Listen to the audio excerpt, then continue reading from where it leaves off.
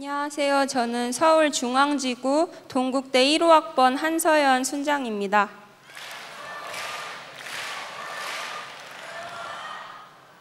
네, 저는 지금 동국대학교 불교학부에 재학 중입니다.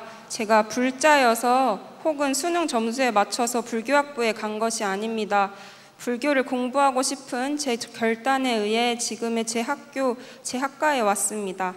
불교를 공부하기로 결심한 데에는 제 마음속에 있는 존재론적 결핍이 큰 원인으로 작동했습니다. 중학교 3학년 무렵 저희 가정에는 재정적 어려움과 관계의 불화가 한꺼번에 찾아왔습니다. 제 삶의 기반이 모두 무너지는 경험은 저를 좌절하고 주저앉게 만들었습니다. 중학교 3학년 시절 내내 항상 표정은 우울했고 친구들 심지어 선생님들까지도 제 표정을 보면 걱정부터 하셨습니다.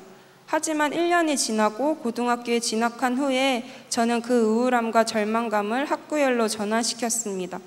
죽고 싶다는 생각은 왜 살아야 할까로 그 생각의 성격이 질문과 탐구심으로 바뀌었고 그에 따라 모든 존재의 이유가 무엇인지 진리는 무엇인지에 대해 고민하기 시작했습니다. 이 고민의 해결을 위해 불교학부에 들어간 것입니다. 불교학부에 들어가 새내기로서 가장 먼저 한 일은 CCC에 들어간 것입니다. 웃기다고 생각하실 수도 있겠지만 당시 제 생각은 이러했습니다. 불교학을 공부하기로 마음먹었지만 불교학만을 공부하는 편협한 학자가 되고 싶지는 않다. 오히려 불교와 상반될 수도 있는 종교도 같이 공부해보자고 말입니다. 생각 끝에 저는 당시 제가 하고 있던 다른 동아리 선배의 인도로 CCC에 들어갔고 순모임을 시작하게 되었습니다. 순장님과 처음으로 새 생활의 시작을 배우던 기억이 납니다. 음, 매우 실망스러웠습니다. 저는 성경을 공부하고 기독교 교리와 세계관, 교인들의 사고방식 등을 배우고 싶었는데 순장님께서는 예수님과 인격적인 관계를 맺는 방법, 그리스도인으로서의 삶이 무엇인지에 대해 알려주셨습니다. 사형리의 영접 기도문을 읽고 예수님을 영접하던 순간에는 이게 뭐 하는 건가? 우선은 일단 이 언니한테 맞춰줘야겠다는 생각을 했던 기억도 납니다. 그래도 애써 마음을 다잡고 교재와 성경 구절의 말씀을 듣고 이해하려 노력했습니다. 순모임의 내용이 제 마음에 잔잔한 파동을 일으켰을 뿐 아니라 엄마 순장님이 너무 좋았기 때문에 순모임을 대충 들을 수 없었습니다. 물론 이해가 가지 않거나 반감이 생기는 순간들도 많았습니다. 하지만 제 불순했던 동기를 뛰어넘는 말씀으로 인한 감동과 깨달음, 그로 인한 마음의 평안과 기쁨이 더 컸습니다. 그렇게 매주의 순모임, 매일의 큐티 가운데 주님에 대한 마음이 신압으로 자랐습니다. 지금에 와서 생각해보면 이때 마음에 있던 벽을 주님께서 조금씩 허물어 주신 것 같습니다. 제가 진정으로 주님을 영접하고 순종의 마음을 품게 된 순간은 여름 수련회에서입니다. 여름 수련회 또한 다소 불순한 동기가 작용해서 가게 됐습니다. 엄마 순장님의 끊임없는 권면으로 가게 되었을 때에도 가면서 했던 생각은 지금의 제가 생각해도 어이가 없습니다. 저는 그때 거의 1만 명 가량 되는 이들이 하나에 몰두할 수 있다는 것에는 분명히 무언가 중요하고 큰 동인이 있을 것이다. 그 동인을 분석해서 포교 방법론 논문에 써야겠다라고 생각했습니다. 하지만 여름 수련회는 그러한 잘못된 생각이 자리 잡을 수 없는 곳이었습니다. 순장님들과의 생활에서 체험한 헌신의 삶, 매일 듣는 강의와 저녁 집회는 5일간 저를 완전히 변화시켰습니다. 박사님, 모사님의 설교 말씀 중 주님을 연접하면 새로운 관점이 생긴다는 것이 기억이 납니다.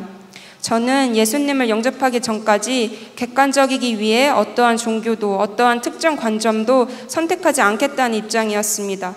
객관적인 관점에서 진리를 탐구하고 싶었기 때문입니다. 하지만 오히려 아무것도 선택하지 않는 것 또한 하나의 관점이며 어쩌면 가장 주관적이고 편협한 관점일 수도 있다는 깨달음을 주님께서 주셨습니다.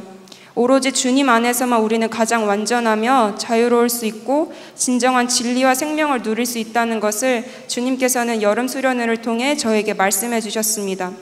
또한 제 안의 결핍을 메우고 상처를 치료하기 위해 잘못된 곳에서 혼자 방황하던 저를 주님께서는 잡아주셨습니다.